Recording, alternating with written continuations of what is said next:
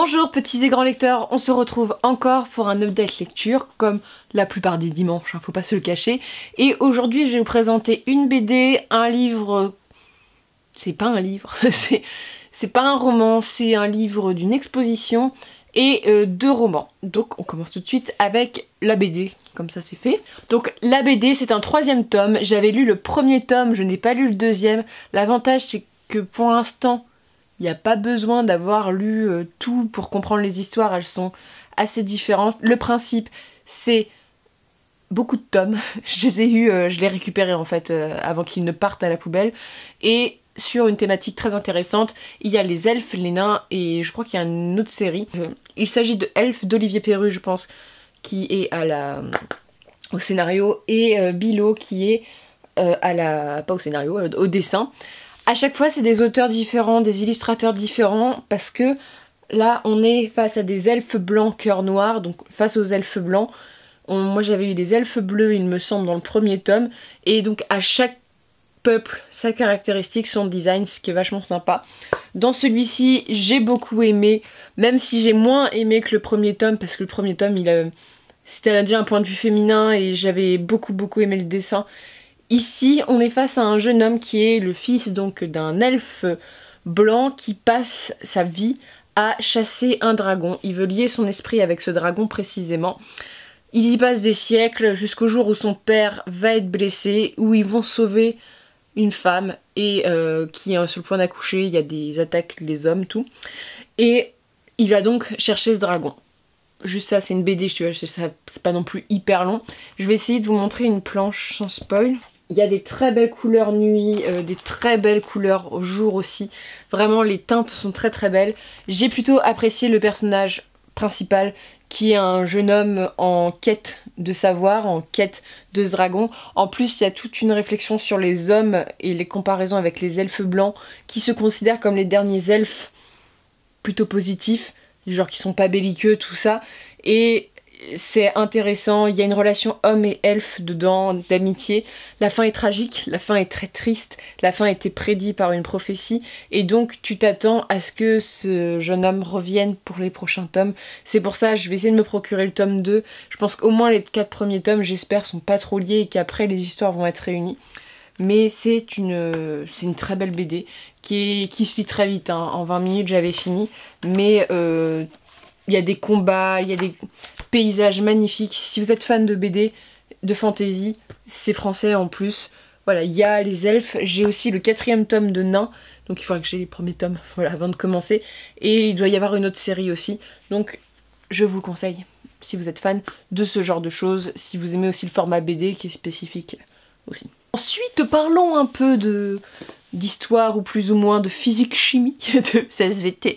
Je croyais ne jamais dire ça sur cette chaîne, mais j'ai récupéré ce livre parce que je crois que c'est le seul mec de science qui m'intéresse. Du genre, j'ai toujours été un peu fascinée par ces théories et en ce moment, comme je réfléchis beaucoup sur le 19e siècle, au moins, bah, lui il était dans l'air.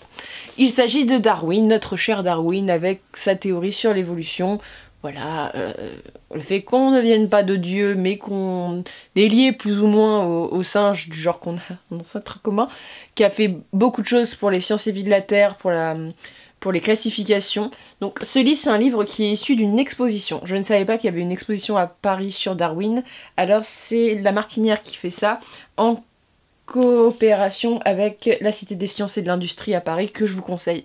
Si vous n'êtes jamais allé à la Cité des Sciences, c'est vachement bien. Surtout, quand t'es enfant, c'est la grosse éclate, ça prend plein de choses, les expos sont super intéressantes. Et donc le monde de Darwin, de quoi ça parle?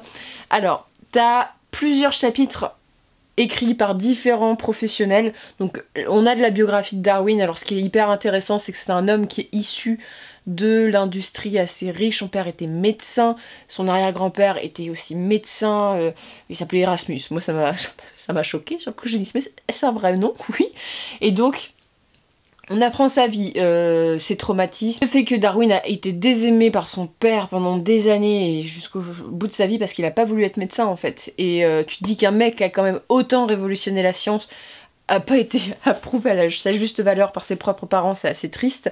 Et à chaque fois, tu as des chapitres différents. Donc ce côté biographique, il y a bien sûr deux longs exposés sur l'exposition euh, bah, des théories de Darwin, la classification, les théories darwiniennes, ce qui est hyper intéressant, assez accessible. Moi, je suis une glandue des sciences. Voilà, j'ai arrêté la physique en première. Euh, la SVT encore, ça me passionne plus, mais ça n'a jamais été euh, un truc où j'étais forcément très très douée, même si ça m'a toujours intéressé. J'ai à peu près suivi, il faut se concentrer, mais tu suis après.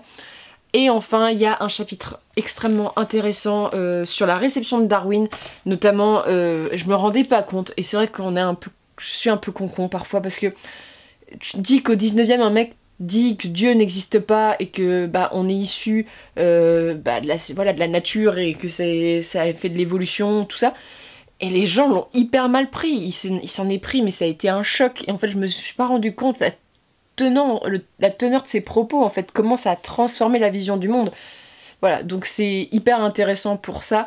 Et il y a un très beau chapitre sur la relation entre Darwin et la littérature victorienne parce que Darwin a tellement changé la société, sa vision a tellement été novatrice que forcément ça a influencé ses contemporains.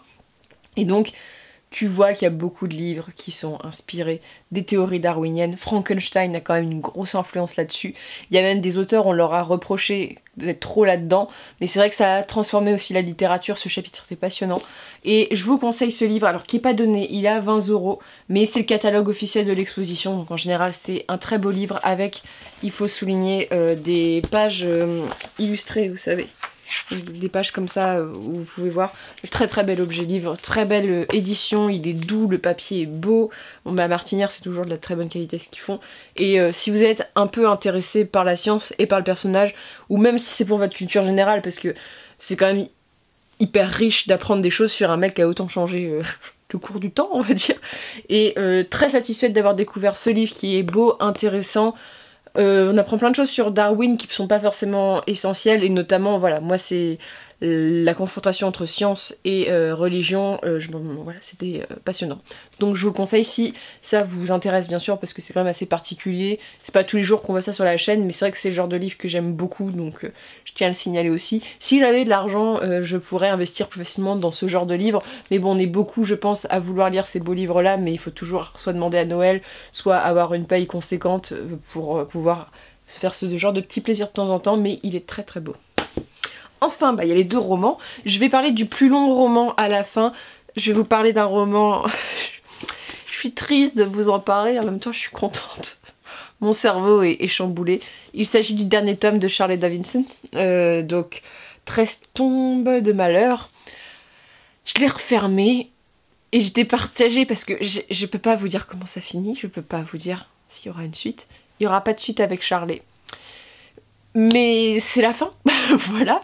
Donc Charlie Davidson, c'est une histoire d'une jeune faucheuse, donc euh, la faucheuse, celle qui aspire les âmes, qui doit se confronter à tout le monde surnaturel et qui va notamment être suivie dans le premier tome par un homme qui s'appelle Reyes et on va essayer de chercher son identité.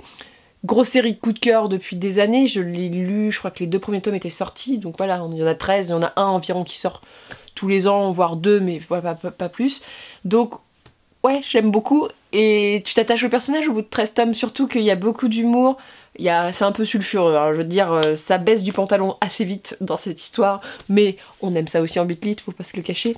Et euh, c'est vrai que c'est un personnage drôle. tous les personnages secondaires sont intéressants et plus tu avances dans le roman, plus le monde explose, plus la mythologie explose, plus tu as envie de connaître d'autres personnages qui sont plus jeunes, d'autres générations. Bref, la, fin, euh, j'ai versé ma, petite larme de c'est fini Mais bon, euh, voilà, c'est fini. c'est tout ce que je peux vous dire.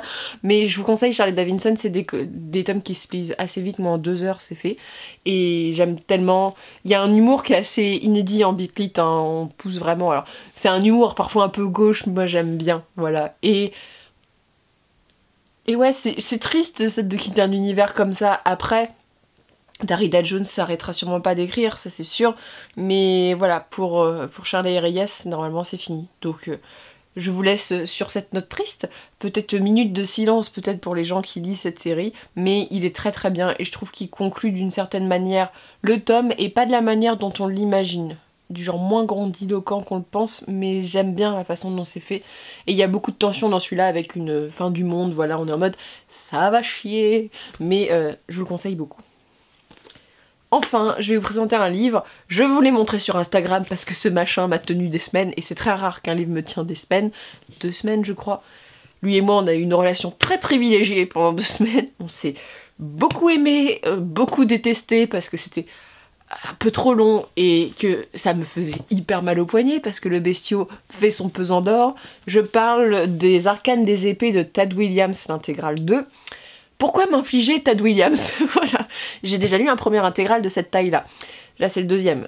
Euh, parce que c'est une très bonne série et c'est surtout une, euh, un livre qui a inspiré ce que j'avais vu et ce, que ce qui se confirme dans le récit.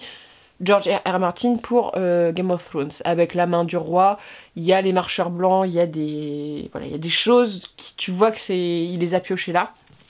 Très bonne série de fantasy, pas accessible à tous de par sa longueur, pas par sa difficulté de compréhension parce que c'est assez simple mais sa longueur.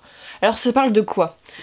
C'est l'histoire du jeune Simon, euh, petit roux, euh, pas très beau, pas très aimé, qui fait des conneries dans les cuisines avec Rachel le dragon, donc la dame qui gère la cuisine, il l'appelle Rachel le dragon. Et euh, Simon, il fait sa petite vie pépère jusqu'au jour où il y a des petites embrouilles au palais. C'est-à-dire que bah il fait sa petite vie. Le premier tome, c'est vraiment Simon fait les courses, Simon fait ça. Mais bon, faut installer l'univers. Et Simon va se retrouver propulsé et à la recherche surtout euh, des épées, parce qu'il y a une histoire d'épées. En effet, il y a trois épées un peu maudites qui sont disséminées dans le monde. Simon va avoir un rapport avec une épée, et notamment va sauver une créature très particulière. Une créature un peu sacrée. Et ça va changer le cours de son destin, il va rencontrer un ogre, beaucoup de créatures. Donc tu as ce point de vue avec Simon, et en parallèle, là où Simon travaille dans le château, et moi j'aime beaucoup aussi ce point de vue-là. Il y a le roi Elias qui a pris le pouvoir à la mort de son père. Euh, Elias est le grand et euh, c'est Joshua, je crois, et le petit. Bon, le petit, ils ont une trentaine d'années, 40 ans, quoi. Ils sont pas non plus euh, très jeunes. Et bah, Elias a pété un plomb, c'est-à-dire qu'il plonge du côté de la force obscure. En clair, il y a un homme magicien bizarre, Priap, qui apparaît et qui va tuer un peu tout le monde, qui va voilà, avoir une influence beaucoup sur les personnages. Il y a énormément de choses à vous dire. Voilà, je pense à des trucs, je fais mais je leur ai pas dit ça, mais voilà, il faut que je vous passe un contexte assez simple. Et donc, Elias veut récupérer les épées, son frère fuit, Joshua, et donc dans ce tome-là, on suit la rébellion de Joshua parce que bon, le mec, son frère est devenu taré, hein. Euh, puis c'est surtout les forces du mal qui ont infiltré son royaume, il est pas très très d'accord. On suit Elias dans sa folie et on comprend, tu vois, un peu euh, les trucs du pouvoir, comment les gens réagissent. On suit la fille d'Elias, donc la princesse qui elle a fui et qui se retrouve beaucoup dans la merde. C'est un de mes personnages préférés dans l'histoire. Son background est super bien. Et on suit euh, Simon, Simon et ses galères, beaucoup de Simon et ses galères. Il y a 5 ou 6 points de vue différents, en fait, 5 ou 6 personnages que tu suis comme ça. Il y en a un ou deux que j'aime pas trop. Alors ça me fait... En fait c'est un peu... C'est l'effet Bran, euh, c'est l'effet Bran dans Game of Thrones. J'en ai tourné les pages. Ce qui fait que des fois j'en avais marre. C'est des grosses briques de 1200 pages. Là c'est des intégrales de 3 tomes à l'intérieur d'un intégral. Donc t'as 9 tomes en tout parce qu'il y a encore un intégral après. Normalement c'est fini. Voilà, ce qu'on peut lui reprocher c'est sa longueur. Après c'est hyper bien. Dans ce tome là, parce que je vais pas me concentrer sur le premier tome, j'ai beaucoup aimé euh, les avancées de Simon qui se pose beaucoup de choses, beaucoup de questions, qui avance. On voit la société des ogres, j'aime beaucoup ce passage-là. Euh, quand j'étais malade sur le bateau du retour en Irlande, heureusement que ce livre était là parce que c'était tellement passionnant que j'étais en mode je vais pas vomir, je vais me concentrer pour ne pas vomir, je vais continuer ce livre. Et donc voilà, petite anecdote, fun fact. Et euh, donc t'as ça, j'ai beaucoup aimé la rébellion avec Joshua, ses relations avec les femmes qui sont compliquées, parce que c'est un homme qui est compliqué, Joshua? T'as envie de te poser à côté de lui et lui dire, en mode psy, parle, on t'écoute, mais tu vas pas très bien, mon gars, en ce moment ça se voit. Ouais, il y a beaucoup de points de vue que j'aime bien, il y en a d'autres que j'aime moins. L'univers est hyper riche, il y a beaucoup de créatures qui sont notamment originales. Il y a des espèces de créatures, je ne sais plus comment elles s'appellent. Mais elles sont assez immortelles. Ça ressemble à des elfes dans le principe. Et Simon va être confronté, j'ai beaucoup aimé, il y a des moments très durs, et donc il y a le grand méchant là dans l'histoire qui se creuse un peu, et est en mode Ah le vilain, il arrive le vilain. Et le problème dans ce, livre, ce qui va mettre tout, c'est que bah euh, Elias il va récupérer Pen, donc une des épées, et ça va provoquer des gros incidents sur le monde entier. Donc voilà, on est un peu sur la quête d'une fin du monde aussi. Donc il y a une teneur là-dessus. Bref, c'est un très bon récit de fantasy dont on peut reprocher, comme je vous l'ai dit, seulement la longueur. Il y a des, personnages de qualité, diversifiés, un monde où tu voyages énormément. Il y a des cartes au début, il me semble. Euh, non, il n'y a pas de cartes, je me souvenais. Bah, ah, si, si, il y a des cartes. Il y a, il y a des cartes, voilà, à chaque fois il y a des cartes pour indiquer parce qu'il voyage beaucoup et il faut se concentrer. Voilà, c'est pas je dirais que c'est pas accessible pour ça, c'est parce qu'il y a beaucoup de choses qui se passent. Et gros coup de cœur pour euh, Miramélé, euh, je crois que c'est elle Miramélé, et que je vous ai dit que quelqu'un d'autre était Miramélé. J'ai envie qu'un personnage s'appelle Miramélé, je ne sais pas. Mais euh, pour le personnage de la princesse et pour le parcours de Simon que j'aime beaucoup, je vous laisse découvrir cette série en fantasy, c'est pas forcément quelque chose de très connu, pourtant c'est qualitatif. Et chez Pocket, ils sont à 15,90€ les tomes, quand à 1200 pages, voilà, le rapport qualité-prix il est vite fait. Et pour l'avoir lu, j'ai même pas cassé le dos, et je suis très très fière de moi. Donc voilà, c'était la petite chose. Donc je vous conseille, si vous êtes amateur de fantasy, si vous avez aussi envie de vous lancer un peu ce challenge de lire une grosse saga du genre en mode dans la bibliothèque, pas fait pèse. Et moi je suis très heureuse de l'avoir découvert. Euh, je suis très heureuse de l'avoir découverte et j'attends énormément de choses du troisième tome. Là, je laisse un peu reposer, mais comme il est dans ma palle, il va bientôt finir à la casserole aussi de mes lectures. Et euh, voilà, à bientôt pour, euh, pour de nouvelles découvertes avec Simon. Et j'ai déjà peur pour les personnages parce que la fin est pas, est pas très bonne pour nos persos. Donc, euh, grosse bataille en perspective. Donc voilà. Donc c'en est tout pour ces lectures. N'hésitez pas à me dire ce que vous en avez pensé comme d'habitude. Et je vous souhaite de très bonnes lectures et une très bonne journée.